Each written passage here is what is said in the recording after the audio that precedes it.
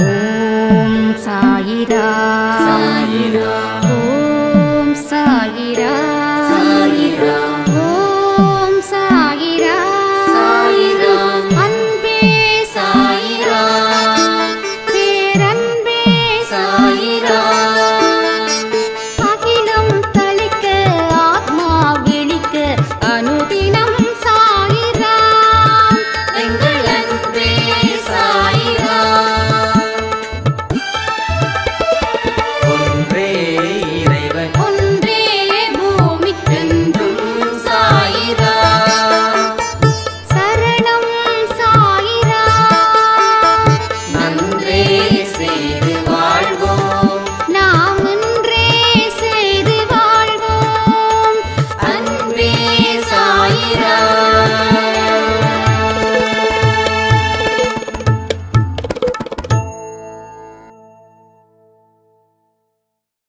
சைரா என் உயிரின் உயிரானவர்களே. சொல்லப்படாத ரகசியங்கள் நிறைய இருக்கு இந்த ஆடியோவில் ஒரு ரெண்டு நாளாக சில விஷயங்களை நாம் கேள்விப்பட்டு அதன் மூலமாக தான் இந்த கான்செப்டை நாம் எடுக்கிறோம். நம்ம வாழ்க்கையில் சந்தித்த தருணங்கள் வாழ்க்கையில் நமக்கு கற்றுக் கொடுத்த பாடம் இது ஒரு மனுஷனை எந்த அளவுக்கு உயர்த்துது எந்த அளவுக்கு தாழ்த்துது? அதாவது எந்த அளவுக்கு இன்பத்தை கொடுக்குது எந்த அளவுக்கு துன்பத்தை கொடுக்குது? வாழணுமா? இல்லை முடிச்சிடலாமா? அப்படின்ற நிலைக்கு ஒரு மனுஷன் தள்ளப்படக்கூடிய விதம். இது எல்லா மனுஷனுக்கும் தான் வருதா? இல்லை சிலருக்கு மட்டும்தான் வருதா? அப்படின்ற ஒரு புரிதல். இதில் சாயப்பாவோட ரோல் என்ன? மனுஷனாக இருக்கக்கூடிய நம்மளுடைய ரோல் என்ன? நம்மளை தாண்டி இருக்கக்கூடிய மனுஷங்களுடைய ரோல் என்ன? அப்படின்றத பற்றியும் இந்த ஆடியோஸில் ரொம்ப தெளிவாக பேச போகிறோம் நல்லா புரிஞ்சுக்கோங்க. வாழ்க்கைன்றது வாழ்வதற்கான ஒரு பயிற்சி கூடம். இங்கே வாழ மட்டும்தான் முடியும். ரெண்டே விஷயந்தான் ஒரு மனுஷனுக்கு. ஒன்று வாழவா இல்லை முடிச்சுக்கவா? இன்னைக்கு காலையில் கொடுத்த ஆடியோவை வாழ்வா சாவான்றதை பற்றி அதில் வரக்கூடிய கமெண்ட் ரொம்ப சிறப்பாக இருந்தது. தெளிவாக சொல்கிற கேட்டுக்கோங்க. வர பதினொன்றாம் தேதி நாம் அன்பே சாயில் ஃபுட் டொனேட் பண்ணுறோம் எல்லாரும் அவங்கவுங்க இடத்துல இருந்து டொனேட் பண்ணுறோம் அதே வந்து ஃபோட்டோ எடுத்து என்னோடய நம்பருக்கு வாட்ஸ்அப் பண்ணியே ஆகணும். அதை திரும்பி ரிமைண்ட் பண்ணுறதுக்கு தான் இதை நான் சொல்கிறேன் சரி வாழ்க்கை அப்படின்னு நமக்கு பாடத்தை கற்றுக் கொடுக்குது? நாம் எங்கேயோ தப்பு பண்ணுறோமோ அந்த தப்பை பண்ணாமல் இருந்து நம்ம வாழ ஆரம்பித்தோன்னா நம்ம வாழ்க்கையில் மென்மேலும் சந்தோஷம் பொங்கும். இன்பங்கள் கைகூடும். ஒரு உறுதியான நிலையான வாழ்க்கையை நம்ம வாடலாம் நம்மளுடைய திறமைகள் அனைத்தும் பெரிய அளவில் சேர்க்கப்படும். பத்தோட பதினொன்னா இல்லாமல் பத்தோட ஒன்றா நின்று நம்ம வாழ்க்கையில் வாழ்ந்து சாதிக்கலான்றது தான் இந்த ஆடியோ உங்களுக்கு வயசை பற்றி தயவு செய்து கவலைப்படாதீங்க படிப்பை பற்றி கவலைப்படாதீங்க இருக்கிற இடத்தை பற்றி கவலைப்படாதீங்க. வாழ்க்கையில் ஜெயிக்கணுன்றதுக்கான வழிகளை மட்டும் நீங்கள் யோசிங்க. அதை பற்றி மட்டும் எப்பையும் பேசுங்கள் யாருக்கிட்ட? சாயப்பா கிட்ட. மனுஷங்கிட்ட தயவு செய்து பேசாதீங்க. மனுஷன் வந்து பேசுனீங்கன்னா மனுஷன் ஒன்றே ஒன்று தான் சொல்லுவான். உன்னால் முடியாது. கடவுள் மட்டும்தான் சொல்லுவார் உன்னால் நிச்சயமாக முடியும்னு. ஏன்னா கடவுளுக்கு முடிகிற சக்தி மனுஷனுக்கு முடியாதது தான் சக்தி. நீங்கள் பத்து மனுஷங்கிட்ட பேசினாலும் இருபது மனுஷங்கிட்ட பேசினாலும் ஒரே விஷயந்தான் சொல்லுவாள் ஏன்னா அது வந்து ஒரு ஓட்ட பானை. அந்த பானையில் எவ்வளோதான் தண்ணி ஊற்றுனாலும் அந்த தண்ணி நிற்காது போய்கிட்டே இருக்கும். ஸோ வேஸ்டேஜ் தான் இங்கே ஜாஸ்தி. சேகரிப்புன்றது ஒன்றுமே இல்லை. கடவுள்கிட்ட வந்தால் மட்டும்தான் அந்த சேகரிப்பு அதிகரிக்கப்படும். நம்முடைய எனர்ஜி லெவல் குறைஞ்சதுன்னா வாழ்க்கை இல்லை. ஆனால் மனுஷங்கிட்ட தொடர்ந்து நம்ம கவலைகளை பேசும்போது வாழ்க்கை எப்படி சாத்தியமாகும்?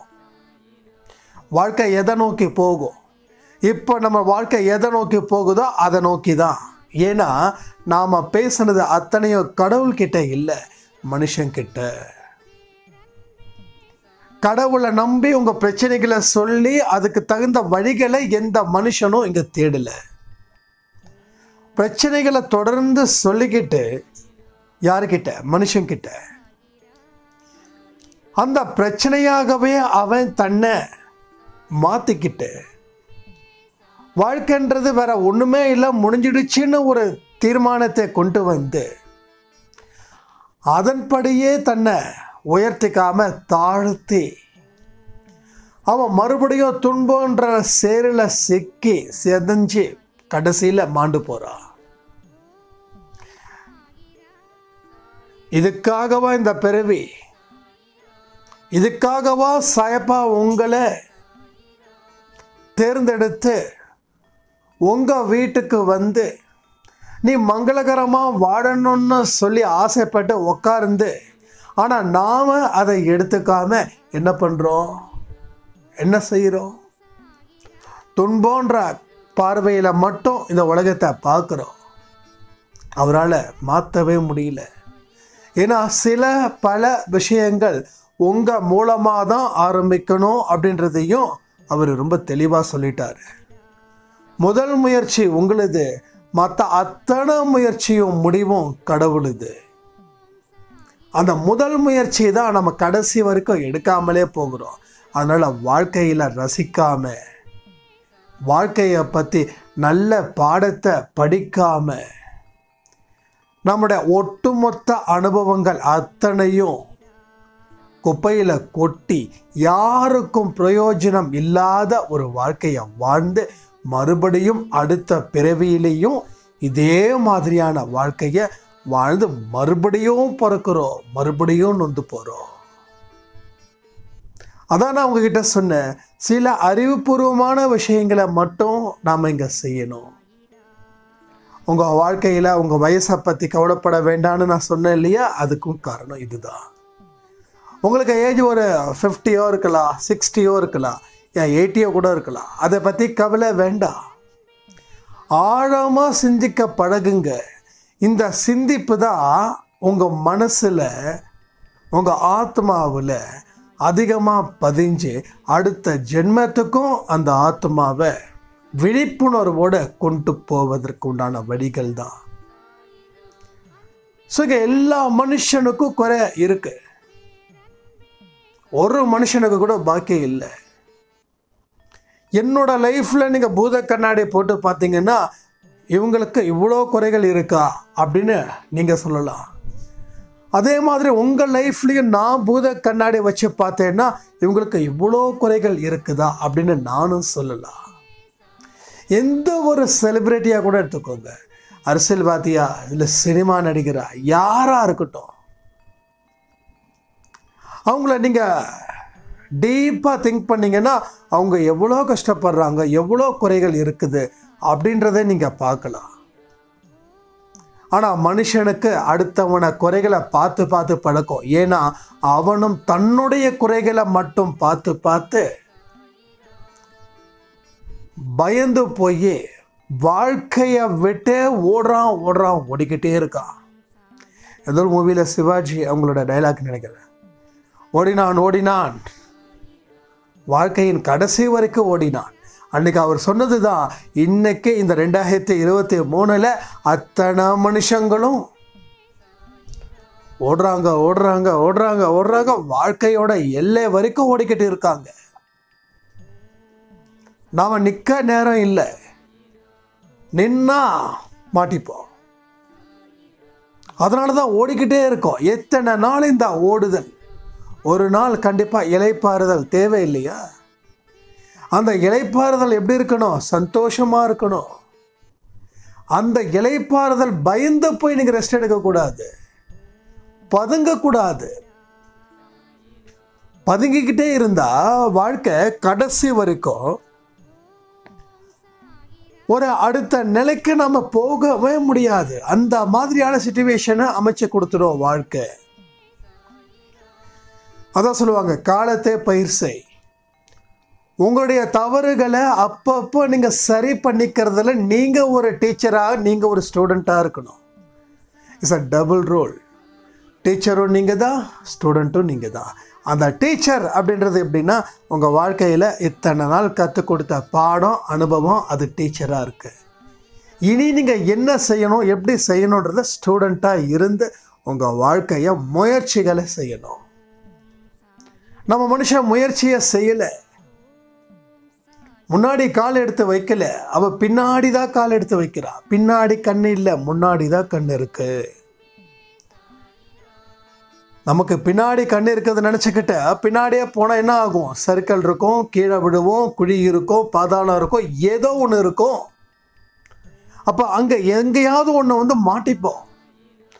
அதனால் முன்னாடி நின்று நீங்கள் உங்கள் வாழ்க்கையோட பயணத்தை மாற்றி அமைங்க. இது வரைக்கும் பின்னாடி தான் நம்ம போயிட்டுருக்கோம் இல்லை சைடில் போகிறோம் முன்னாடி போங்க. முன்னாடி சாயப்பா வந்து பாருங்கள் கூப்பிட்டுட்ருக்காரு பாருங்கள் நம்ம சின்ன வயசில் இருக்கும்போது நம்ம சரியாக நடக்காமல் இருப்போம். ஒரு சின்ன குட்டி குழந்தை. ஒரு ஒரு ஒன் இயர் பேபியை கூட வச்சுக்கலாமே. ஒன் இயர் இல்லை one and half years baby அப்போ நம்ம அம்மா என்ன பண்ணுவாங்க? கண்ணா வா வா வா வான்னுவாங்க. நம்ம நிற்க பழகி இருப்போம். நமக்கு முன்னாடி ரெண்டு கையை வச்சுக்கிட்டு ஒடியா ஒடியா ஒடியா ஒடியான்னு சொல்லுவோம். அவங்க தூக்க மாட்டாங்க. அப்போ நம்ம அம்மா கை நீட்டுறாங்கன்னு சொல்லி நம்ம என்ன பண்ணுவோம்? ஒரு காலை எடுத்து இன்னொரு காலை எடுத்து வைப்போம். லைட்டாக விடும் ஓடி வந்து அம்மா பிடிச்சிப்பாங்க. குழந்தை விடுற ஸ்டேஜில் இருந்தால் ஓடி வந்து பிடிச்சிப்பாங்க. நடக்க வைக்க முயற்சி செய்கிறாங்க யார்? நம்ம அம்மா. அதே மாதிரி தான் வாழ்க்கையிலையும் நம்ம சாயப்பா நமக்கு முன்னாடி நின்று ஓடிவா ஓடிவா ஓடிவா எதை பார்த்தும் பயப்படாத. இந்த உலகம் இப்படிப்பட்டது தான் உலகம் உனக்கு பழி சுமத்துக்கிட்டே தான் இருக்கும். பல அடியும் பல அவமானத்தையும் அது தந்துக்கிட்டு தான் இருக்கும் நீ அதை பற்றி கவலைப்படாத. உனக்கு முன்னாடி நான் இருக்கேன். உன்னை நான் தூக்குவதற்கும் உன்னை தாங்குவதற்குமா தான் நான் உன்னை தேடி வந்திருக்கேன். நீ கவலைப்படாத. ஜஸ்ட் இமேஜ் பண்ணி பாருங்களேன்.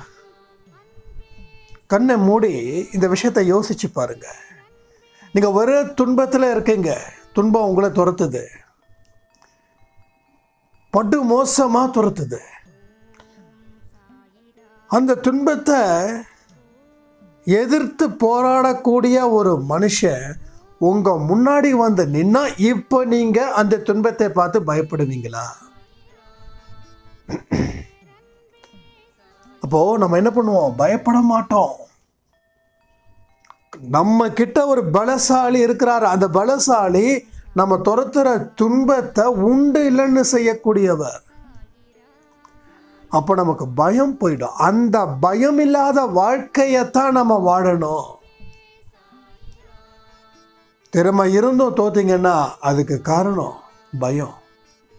அந்த பயத்துக்கு காரணம் உங்கள் வாழ்க்கையில் நீங்கள் ஒரு நல்ல ஒரு டீச்சராகவும் நல்ல ஒரு ஸ்டூடெண்ட்டாகவும் அந்த டபுள் ரோல் நீங்கள் பண்ணாததுக்கான காரணம்தான் உங்கள் வாழ்க்கையில் எவ்வளோ பெரிய பிரச்சனைகள் அது அதிகமாக போய் பயமாக உருவாகிடுச்சு. அப்போ அதை நாம் சரி பண்ணணும். சில சூழ்நிலைகள் நம்ம வாழ்க்கையவே மாற்றுது அம்மாவோட அரவணைப்பில் அப்பாவோட அரவணைப்பில் இருக்கும்போது நாம் வாழ்க்கையை சந்தோஷமாக அனுபவித்தோம்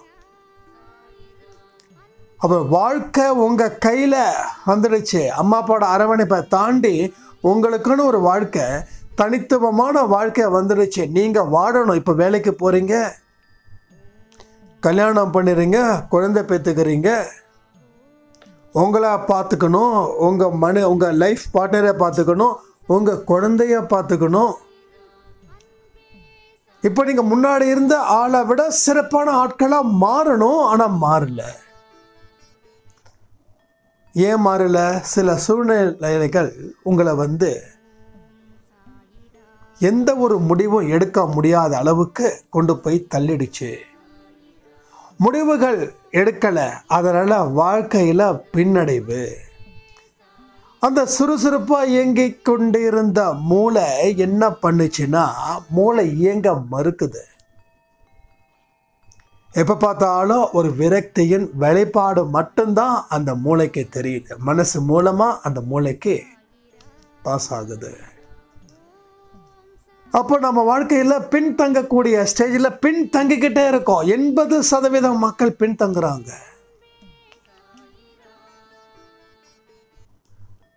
அப்போ நீங்கள் நீங்களாக இல்லை? அடுத்தவங்க மேலே படியை சுமத்துறதில் முதல் ஆளாக நீங்கள் வந்து நிற்கிறீங்க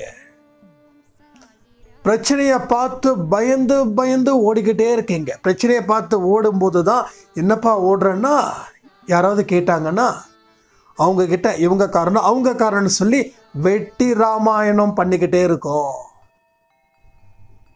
வெட்டி கதைகளே பேசிக்கிட்டு இருக்கோம். கதை அளந்து விட்டுக்கிட்டே இருக்கும். தொடர்ச்சியா.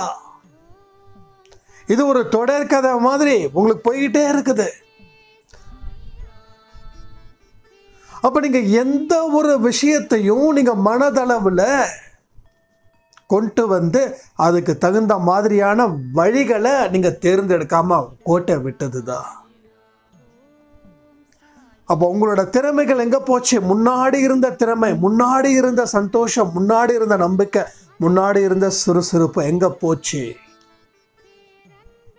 அப்போ உங்கள் வாழ்க்கையில் லெசன்ஸ் கொடுத்துக்கிட்டே இருக்கும். இந்த காலம் அப்படிதான். நீங்க பசுமையா பார்க்கறதெல்லாம் பசுமையானது அல்ல. அதை நீங்க புரிஞ்சுக்கோங்க. கண்களால் ஒரு விஷயத்தை நீங்கள் பார்க்குறீங்க ரசிக்கிறீங்கன்னா அது உங்களுக்கு நல்லதை தான் செய்யணும் அப்படின்றது கிடையாது. அதை உங்களை கவுக்கிறதுக்கும் பயன்படும். ராமாயணத்தில் சீத்தை ராமாயணன்ற ஒரு காவியம் எங்கே உருவாச்சு அப்படின்னா சீத்தை என்ன பண்ணாங்க? அந்த அழகிய புள்ளிமானை பார்த்து மயங்கினாங்க. அந்த மானை பிடிக்க லக்ஷ்மணன் கோட்டை கிழிச்ச கோட்டையை தாண்டினாங்க. ஒருவேளை தாண்டாமல் இருந்திருந்தா ராமாயணம் வந்திருக்குமா? அப்போ அங்கேயே சொல்லிட்டாங்க. அழகானது ஆபத்தாக கூட முடியலாம் அப்படின்னு. அதை நம்ம புரிஞ்சுக்கணும். ஒவ்வொரு காவியமும் அதுக்கு பின்னாடி படைக்கப்பட்ட விஷயத்தை நம்ம தெரிஞ்சுக்கணும். அது எனக்கு சின்ன வயசுல இருந்து இப்போ வரைக்கும் பிடிச்சமான விஷயங்கள். அழகு ஆபத்தாகவும் முடியலாம் அழகே ஆபத்து நான் சொல்லலை. படைக்கப்பட்ட அனைத்தும் எனக்கானது. ஒரு மலையை பார்க்கும்போது ரசிக்கிறோம். ஒரு அருவி ஒரு கடல் பார்க்கும்போது மனசு சந்தோஷப்படுது. ஒரு மழையை பார்க்கும்போது அவ்வளோ சந்தோஷமாக இருக்குது அவ்வளோ இதாக இருக்கு. அதெல்லாம் அழகானது. அது ஆபத்தை கொடுக்கணும்னு சொல்லலை. அழகும் ஆபத்தில் முடியலாம். அசிங்கமானதும் நல்லதில் முடியலாம். நீங்கள் வாழ்க்கையை எந்த முறையில் பார்க்குறீங்களோ அதற்கு தகுந்த மாதிரி நீங்கள் வாங்கிப்பீங்க. இதை தான் நம்ம தொடர்ந்து செஞ்சுக்கிட்டே இருக்கோம். கண்ணால் பார்க்கறத உண்மைன்னு நம்புகிறோம் கண்ணால் பார்க்காதத பொய்ன்னு நம்புகிறோம் கடவுளை கண்ணால் பார்க்க முடியாது. கடவுள் இருக்காரா அப்படின்ற ஒரு நம்பிக்கை சில நேரத்தில் இருக்கிறது இல்லை. ஏன்னா கடவுளை உணரத்தானே முடியும் பார்க்க முடியாதுல்ல? அதனால். அப்போ கண்ணால் பார்க்கறது மட்டும் இல்லை. கண்ணால் பார்க்காதது கூட கண்ணால் பார்த்ததை விட பல மடங்கு உயர்ந்தது உயர்ந்ததாக படைக்கப்பட்டது. இதை நாம் சரியான முறையில் அந்த ஞானத்தை தேடணும். ஞானன்றது சான்ஸ்கிரிட் மட்டும் இல்லை மந்திரம் மட்டும் இல்லை அதை தாண்டின ஒரு பக்குவம்.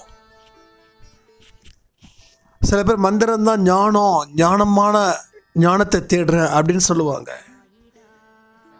ஆனால் அது கிடையாது. மந்திரத்தை தாண்டி வாழ்க்கையை பற்றியும் நம்மளை பற்றியும் சக மனிதர்களை பற்றியும் கடவுளை பற்றியும் நீங்கள் எந்த அளவுக்கு புரிஞ்சிருக்கீங்களோ அந்த அளவுக்கு உங்கள் வாழ்க்கை உயர்ந்த நிலைக்கு போகும். எவ்வளோ பெரிய தோல்விகள் வந்தாலும் உங்களுடைய முகத்தில் எந்த விதமான ஒரு சோர்வும் இருக்காது. ஆனால் இன்றைக்கி பாருங்கள் ஒரு சின்ன விஷயத்துக்கு கூட மனசு ரொம்ப டல்லாக்குறோம். ஏன்? ஒரு சின்ன வழியை கூட தாங்க முடியாத அளவுக்கு இன்னைக்கு இருக்கு உலகம். ஒரு சாதாரண விஷயத்தை கூட நம்ம பயந்துடுறோம். நம்ம வீட்டுக்குள்ளேயே லைட்டு ஆஃபில் இருந்தால் நடக்க பயப்படுறோம். நீங்கள் இருந்த வீடு தான் அஞ்சு வருஷமோ பத்து வருஷமோ ஏன் இன்னும் சில பேர் காலங்காலமாக இருக்கக்கூடிய வீடாக கூட இருக்கலாம். ஆனால் கரண்ட் ஆஃப் ஆகிடுச்சுன்னா போக பயப்படுறோம். ஏன்? அதே லைட்டு போட்டுச்சுன்னா போகிறோம் பயம் இல்லாமல் போகிறோம் அந்த மனசில் இருக்கக்கூடிய உறுதி இல்லை கண்களால் என்ன பார்க்குறோமோ அதை தான் உண்மைன்னு நம்ம நம்புகிறோம் கண்களுக்கு பின்னாடி இருக்கக்கூடிய விஷயத்தை நம்ம நம்ப மறுக்கிறோம்.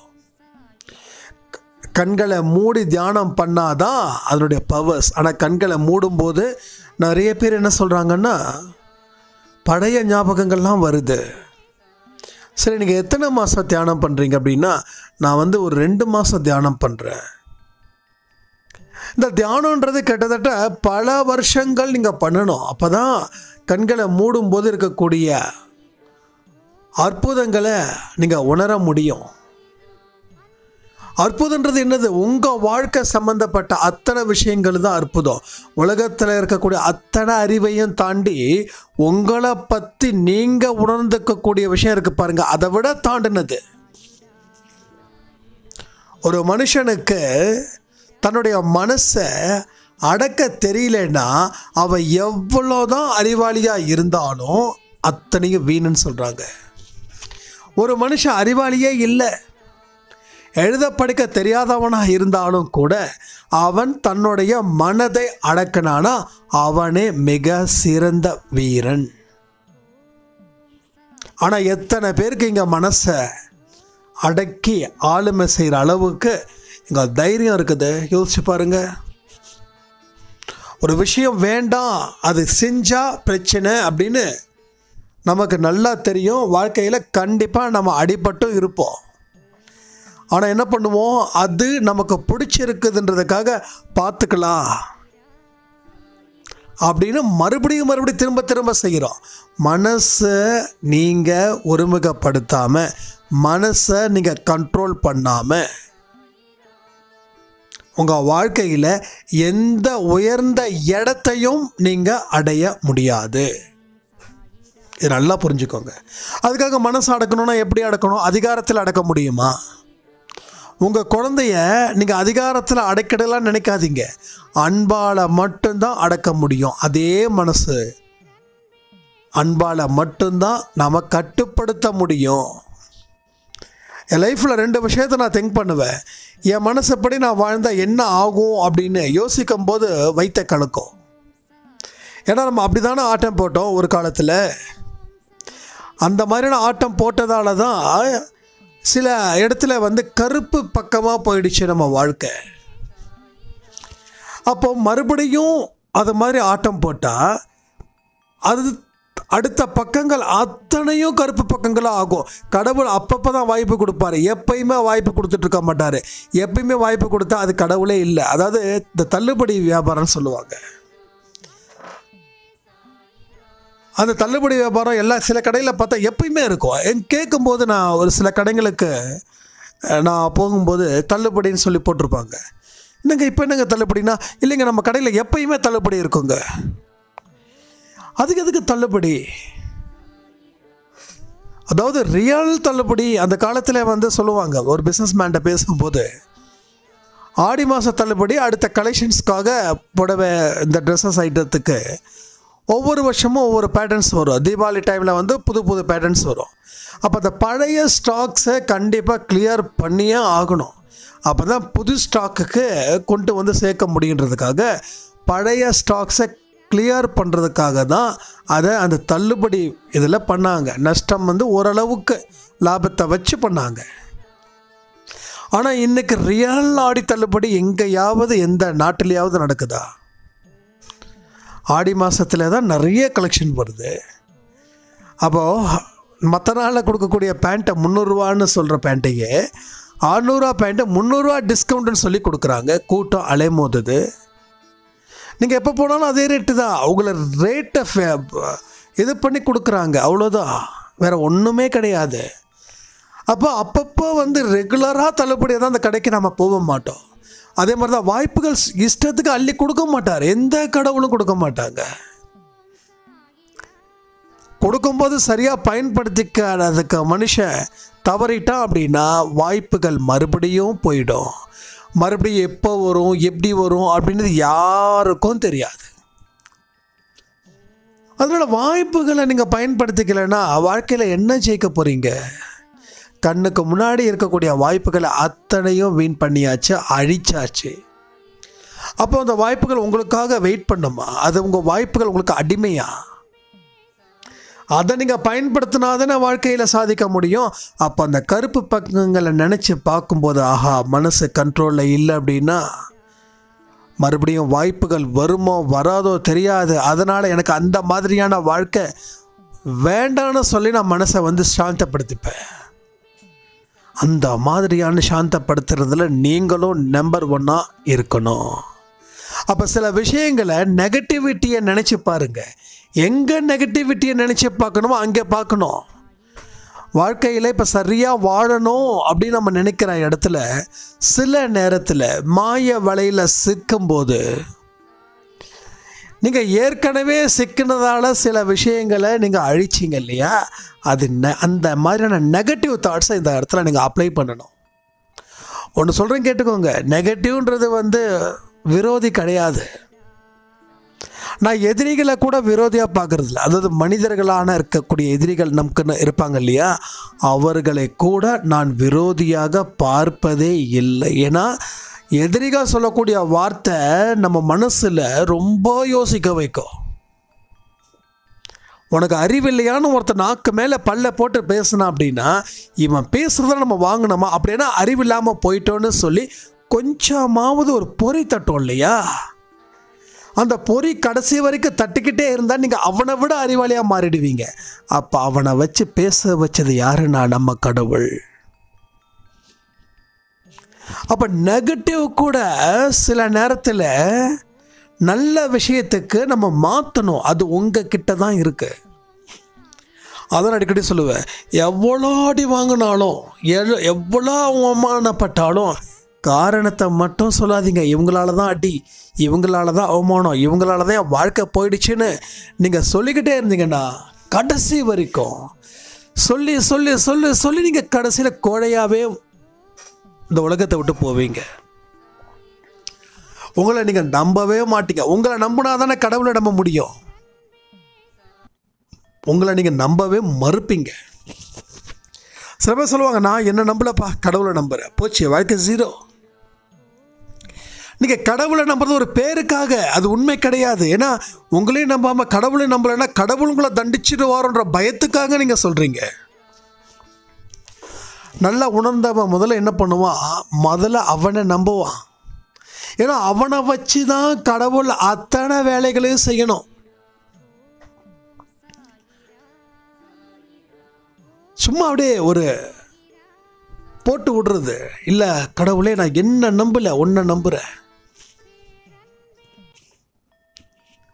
முதல்ல நீங்கள் நம்பணும். வாழ்க்கையில் உயர முடியும் நம்பணும். அடுத்தது கடவுளை நம்புனீங்கன்னா உங்கள் வாழ்க்கை டாப் லெவலில் நிற்கும் உங்கள் மேலேயும் நம்பிக்கை இல்லை. கடவுள் மேலேயும் நம்பிக்கை இல்லை. இப்போ வாழ்க்கை ஜீரோ நீங்கள் வாழ்க்கையை நம்ப ஆரம்பித்தாதான் வாழ்க்கை வாழணுன்ற ஆசை துளிர்விடும். நம்பிக்கை இல்லாத வாழ்க்கை வாழ்க்கை வெறுத்து தானே போகும். அப்போ யார் மேலேயும் நீங்கள் நம்பிக்கை வைக்கவே மாட்டீங்க. யார் மேலேயும் நம்பிக்கை வைக்காமல் இருக்கிறதால யார் மேலேயும் அன்பையும் செலுத்த மாட்டீங்க. மறுப்பீர்கள். அப்போ உங்களுக்கு அன்பு வைக்கல நம்பிக்கை வைக்கல ஒரு சுறுசுறுப்பு இல்லை ஒரு தைரியம் இல்லை. வாழ்க்கையோட அடுத்த பக்கத்தை படிப்பதற்கு ஆர்வம் இல்லை. இது எல்லாம் ஒன்றா உங்ககிட்ட நிற்கும் போது உங்கள் வாழ்க்கை எப்படி இருக்கும்? யோசிச்சு பார்த்தீங்களா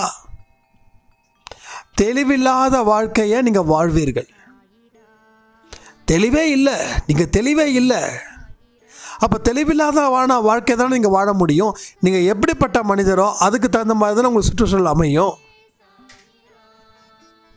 ஆனால் நீங்கள் தெளிவே இல்லாமல் இருக்கீங்க. காலையில் ஒரு முடிவு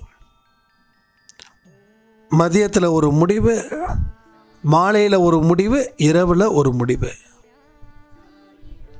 சில பேர் முடிவு எடுக்க முடியாமல் கடைசி வரைக்கும் புலம்புனவங்களும் பார்த்துருக்கேன் என்ன செய்கிறதுன்னு தெரியல. எனக்கு எப்போ காலம் சரியாகும்னு தெரியல. எப்போ நேரம் சரியாகும்னு தெரியல. அப்படின்னு சொல்லி சொல்லி வீட்டுக்குள்ளேயே உட்காந்துக்கிட்டு காலத்தை கழிக்கிறவங்களையும் நான் பார்க்குறேன். இதெல்லாம் நமக்கு தேவையா? எப்படிப்பட்ட ராஜா வாழ்க்கை வாழ வேண்டிய நீங்கள் அதற்கு எதிர்ப்பதமான வாழ்க்கையை வாழ்வதால் உங்களுக்கு என்ன லாபம்? நீங்கள் உங்களையும் ஏமாத்துறீங்க உங்களை டிபெண்ட் பண்ணியிருக்கிறவங்களையும் ஏமாத்துறீங்க ஒட்டுமொத்த கடவுளையும் பிரபஞ்ச சக்தியையும் நீங்கள் ஏமாற்றுறீங்க.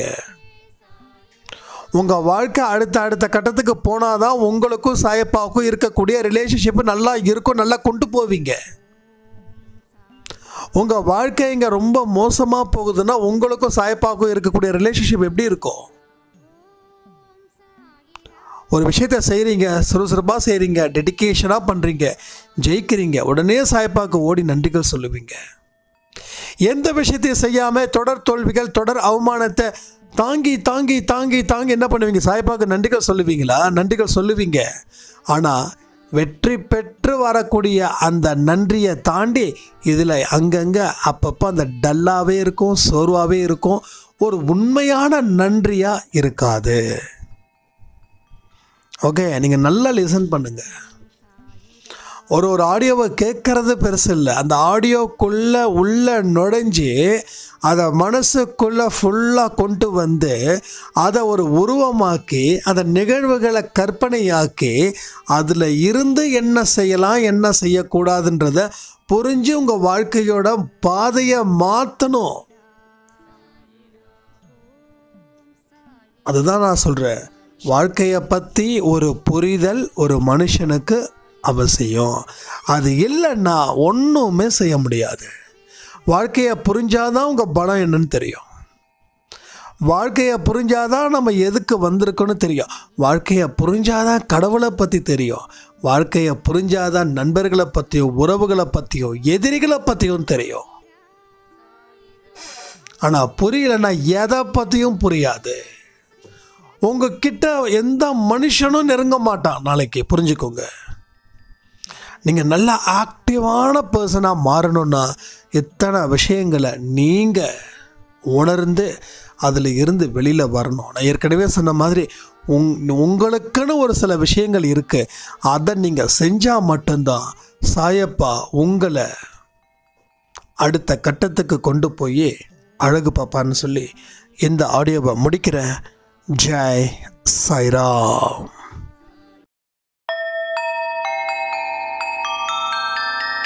ॐ सायिरा सायिरा ॐ सायिरा सायिरा